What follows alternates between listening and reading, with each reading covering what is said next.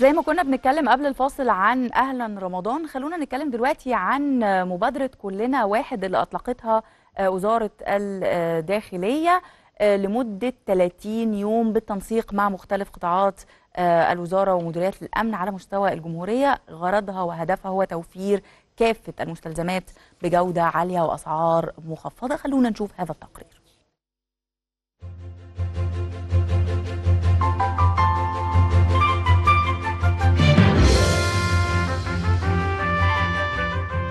بالتزامن مع اقتراب شهر رمضان المبارك انطلقت المرحلة الثانية والعشرين من مبادرة كلنا واحد تحت رعاية الرئيس عبد الفتاح السيسي لتوفير السلع الغذائية وغير الغذائية بأسعار مخفضة بتخفيضات تصل إلى 60% للتيسير على المواطنين. جت مبادرة كلنا واحد تحت رعاية السيد الرئيس عبد الفتاح السيسي رئيس الجمهورية.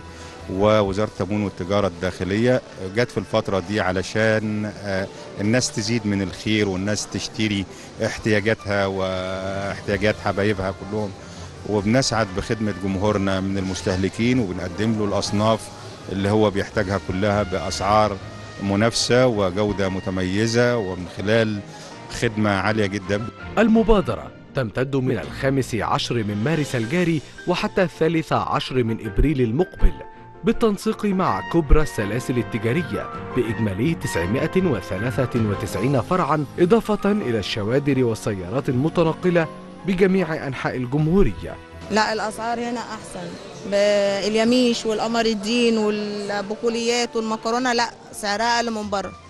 فحتى إن أنا جاية النهارده أخد الحاجة إن أنا أعمل شنط أخد الكمية كلها من هنا أقل من بره كتير. لا ما شاء الله الله أكبر. يعني الأسعار هنا تختلف عن أسواق بره. أنا لفيت أنا لفيت بره والله. هنا الأسعار ما شاء الله الله أكبر نزلت جامد. لأن أنا جيت من شهر كانت الأسعار عالية. السعر الحمد لله النهارده ملحوظ جدا في الأسعار عامة يعني. وبالأخص في في السلع اللي هي الغذائية الأساسية. لا لا الأسعار الحمد لله يعني كويسة. غير قبل قبل الفترة يعني مثلا من أسبوع لا الدنيا ما كانتش كده بالظبط. محتاجين المبادرة دي إنها تكون دايما يا رب.